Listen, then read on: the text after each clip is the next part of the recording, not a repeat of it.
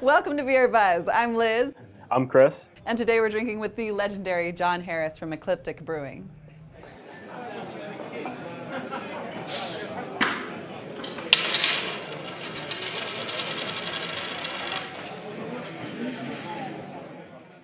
Tell us about what the craft brewing scene was like in Oregon in the 1980s. That's when you first got on the scene, right? Yeah, I started brewing uh, with the McMenamin Group in 1986. Um, prior to that, you know, this whole thing had started. I, you know, was in college, and this Redhook beer showed up, and just like it tasted like blueberries, you know. and and at one point, Michael Jackson, the late great beer writer, is like, "This has a Belgian character." So now, before I know that, it's a Belgian style beer. It was like it was like ESB, called it Redhook ESB. But anyhow, um, so I kind of like got in. This guy gave me a Dortmunder Action Brewery, a Dab German beer at one point, and the guy was older than me, and um, I'm like, wow, this beer has some flavor. What is this thing about other beers? So I started like going, getting into imports, and then uh, then the craft beer, like what we called microbrews back then, Right. um, started coming on the scene. So we had you know, Pyramid out of Kalama, Washington, and we had Widmer and um, Bridgeport, and then those were like the first three. Plus the um, out of you know Washington State, you had well Pyramid was from Washington, but um, Bert Grant's out of Yakima and um, Redhook out of Seattle. So those were kind of the first five six breweries you started seeing around the bars in Portland. So was your first real brewing job then with McMenamins? Yeah, so I. Uh, Did you almost get fired on the first day? who told you that? Everybody's got a No, great yeah, start. So, so yeah, so I applied to McMenamin's. Was an ad in the Willamette Week said brewer wanted, and I had a housemate, and she's like, "That's your job. You love beer." I'm like, "Ah, I'm, not, I'm not a brewer. How are they gonna hire me?"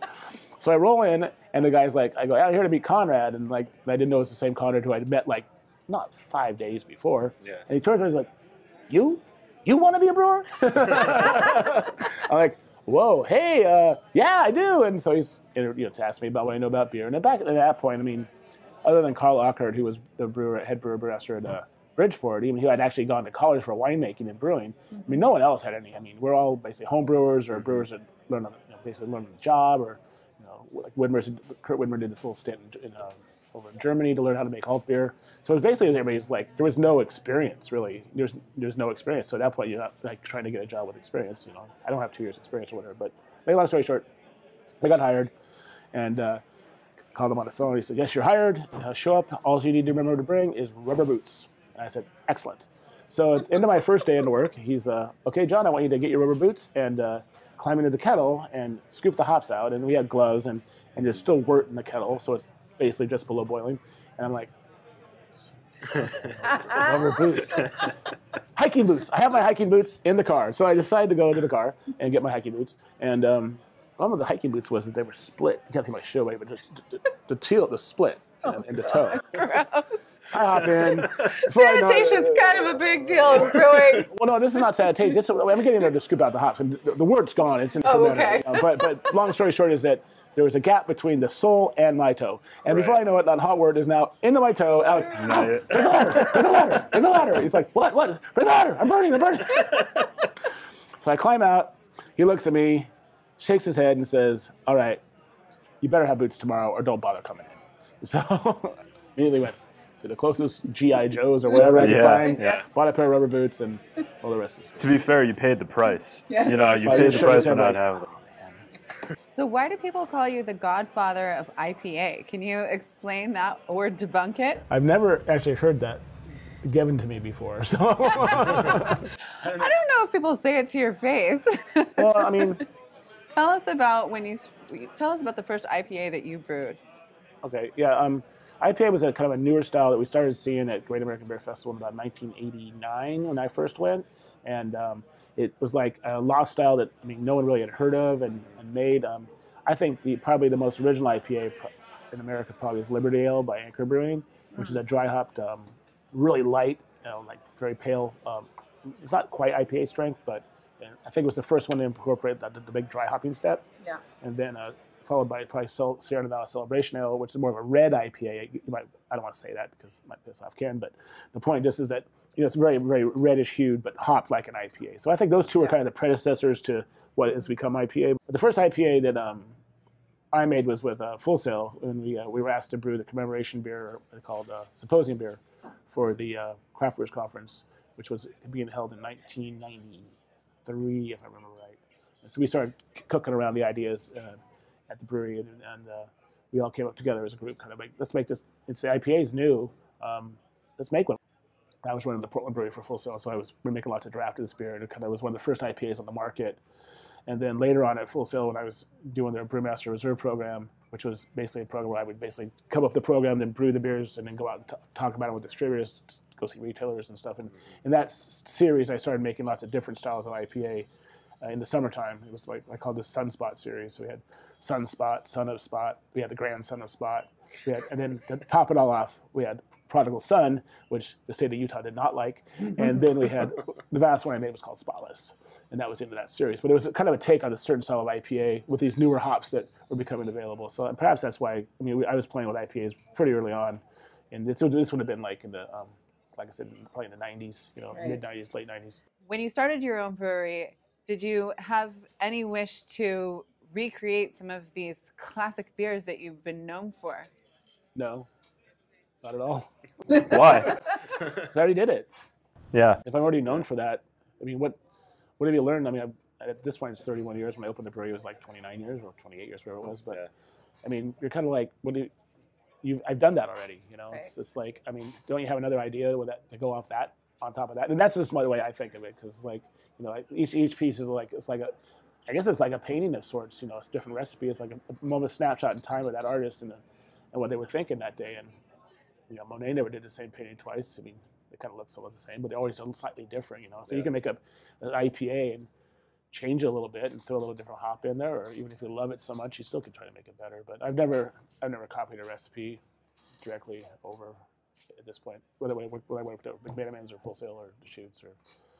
But every beer is influenced by every beer you ever made, so I've been influenced by lots of beers at this point. So. Yeah, yeah. Is there something particular that is uh, you know on your mind right now when you're when you're brewing? Are you doing anything particular or unique that, that you want to talk about?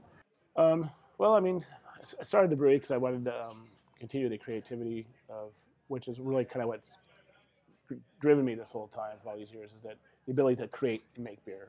I always had these a lot of beers in my head, like especially the brewing with fruit back in the early days. I love brewing with fruit, you know, and and uh, something that, that Deschutes didn't do and Full Sail didn't do, and now they're both doing it now, which is kind of funny. but um, but things change, you know, times Yeah. change, and so um, part of me wanted to get back to brewing, you know, with this, you know, brewing things I used to make, you know, uh, played with. And so I opened Ecliptic. The whole idea was there is no, we, we are not any particular brewery. We're not a fruit brewery. We're not a sour brewery. We're not a Belgian brewery. We're not a IPA brewery, you know, or whatever you want to say it is. So I wanted it to, to be everything and try to brew with fruit, make different things, come up with different ideas, just kind of have fun with it. And also be, you know, but also be realistic about like what people want to drink these days. And like, Yeah. you know, if people want to be, you know, if they want a style like Chromosphere and you like making that style, well, make something that people want to drink. Because these days, people, people's tastes are changing so rapidly that, I mean, at this point, if it's got fruit in it, it's selling. Tell me about the name Ecliptic. Where did it come from?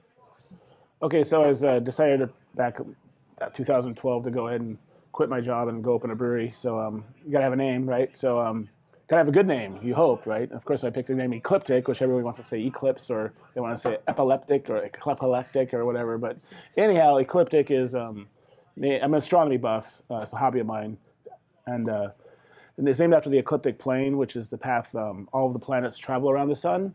All the planets kind of on, are on a level keel, as you could say, going around the sun. Like one's not going like this, and one's not going like this. You know, so they kind of follow this ecliptic plane, and it kind of ties into uh, um, my astronomy hobby, but also the fact that um, I really wanted to have a restaurant doing lots of seasonal food, and um, I wanted to have lots of seasonal specialty beers, and that all kind of ties into our trip around uh, the sun on on spaceship Earth and uh, cruising the plane. And you know, it's, now it's winter now. We want something hard and hearty and rich, and now it's summer, and we don't have anything to do with anything heavy. So you know, everyone wants light beer, you know, right now. So.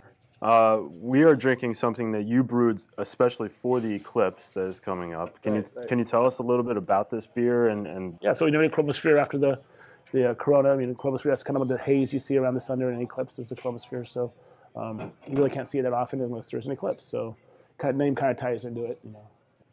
And being uh, a fan, I wanted to make it being the astronomy space brewery. I wanted to make a special beer for the, the event. So I thought about what kind of style to make. You always think it's an eclipse, so something dark. And of course, you're like, it's August 21st. Yeah. Who the hell wants to drink a dark beer? Sessional Yeah. beer. I said, Let, let's make the beer the color of the sun. So let's just do a blonde ale and uh, Beautiful. really light, easy drinking, some light like honey notes to it, and then just a nice hop flavor and, and Christmas, but not you know not super bitter or anything. So it's really plus I wanted to be a beer that anybody could enjoy on that day because a lot of people don't like IPAs, for instance, and so or sours, and so why why pigeonhole yourself in the you know in a more you know heavy beer style. So John, thank you so much for coming on the show today. It has been an absolute honor and privilege to drink with the godfather of craft brewing for the Pacific Northwest. Thank you for paving the way Right. for so many of us Right. and sharing all your stories with us today. Cheers. cheers, guys. Thank you. Thanks for having me on has been awesome.